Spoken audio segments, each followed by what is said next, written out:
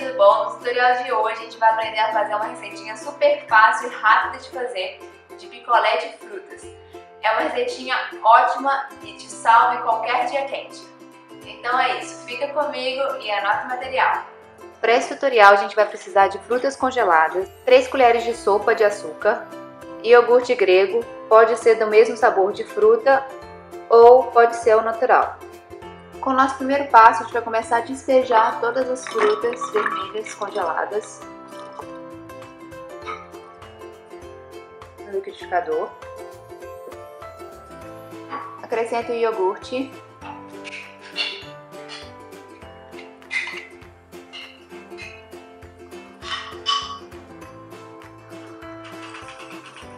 E o açúcar. Se o seu iogurte for muito denso como o meu, você pode acrescentar um pouquinho de leite.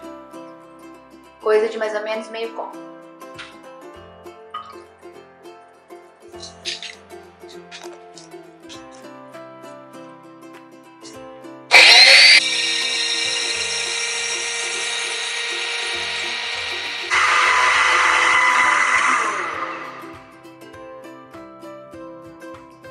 Bom, depois de dois minutinhos vai ficar dessa forma.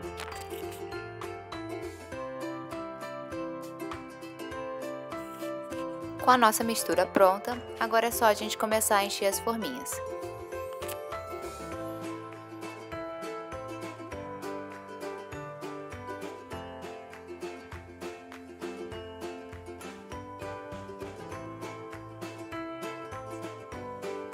o nosso picolé está prontinho para ir para o freezer. A gente vai deixar o nosso picolé no freezer de aproximadamente às 5 a 6 horas. Ah, lembrando também que se você não tiver essa forminha, não tem problema. Você pode utilizar também as embalagens de iogurte, que são uma ótima opção. Bom, gente, então aí, esse é o resultado final. O picolé é super saudável e saboroso, pronto para ser degustado naqueles dias quentes.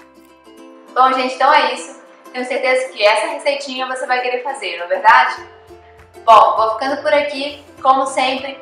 Se você gostou, dá aquela curtida pra mim, compartilhe com quem você gosta. Não esquece de deixar sua sugestão aqui embaixo.